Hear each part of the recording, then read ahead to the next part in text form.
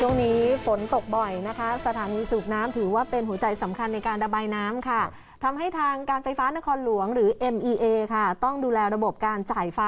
ไปที่สถานีสูบน้ำไม่ให้มีการขัดข้องนะคะ เพื่อจะได้ระบายน้ำได้อย่างมีประสิทธิภาพ ติดตามจากรายงานค่ะ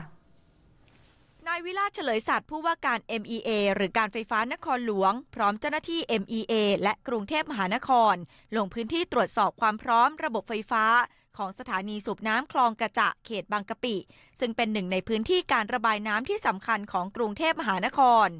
โดย MEA ได้ให้ความสำคัญกับการจ่ายกระแสไฟฟ้าที่มีประสิทธิภาพ โดยเชื่อมโยงระบบจ่ายไฟฟ้าหลัก และระบบจ่ายไฟฟ้าสำรอง ให้กับสถานีสูบน้ำทุกแห่ง โดยใช้เทคโนโลยีควบคุมระบบไฟฟ้า SCADA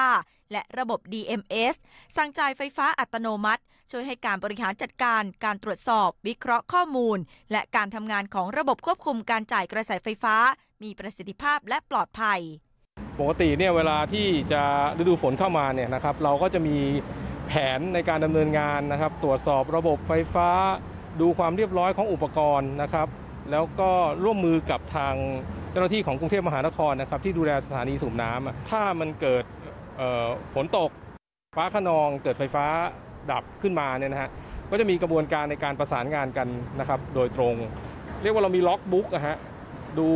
ไอ้โปรไฟล์ของแต่ละสถานีสูบน้ำไว้ เพื่อง่ายในการจัดการเวลาไฟฟ้าดับครับ ที่ผ่านมา MEA ได้เข้าตรวจสอบและบำรุงรักษาระบบจ่ายไฟฟ้าให้กับสถานีสูบน้ำอย่างต่อเนื่อง พร้อมทดสอบการใช้ระบบ IoT ตรวจจับระบบไฟฟ้าดับ ในกลุ่มสถานีสูบน้ำนำร่องในพื้นที่การไฟฟ้านครหลวง เขตยานาวา และเขตบางใหญ่ทำให้การแก้ไขเหตุไฟฟ้าดับดำเนินการแก้ไขได้อย่างรวดเร็ว เยอะ